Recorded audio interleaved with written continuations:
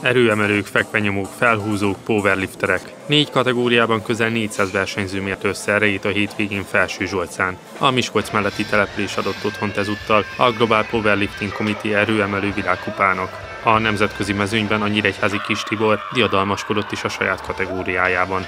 Ugye előző évben testépítésben világbajnokságot nyertem. Olaszországban most egy tervem az volt, ugye, hogy erőemelésbe és világbajnoki címet szerezzek. Googleásba és fekvőnyomásba indultam, Googleásban megszereztem az első helyet, 93 kg mérlegeltem és 255 kg-ot teljesítettem. A kétszeres világbajnok munkáját és eredményeit azonban nem csak az érmek fémjelzik, hanem egy készülő film is megörökíti azokat. A Belső Erő című alkotás várhatóan jövőre lesz látható. Ebbe a filmbe ugye az egész felkészülésről, edzésekről, ugye én leszek benne a főszereplő, lesznek mellékszereplők, ugye profi erőemelő is lesz benne, azok az emberek, akik engem segítettek, hogy idáig eljussak.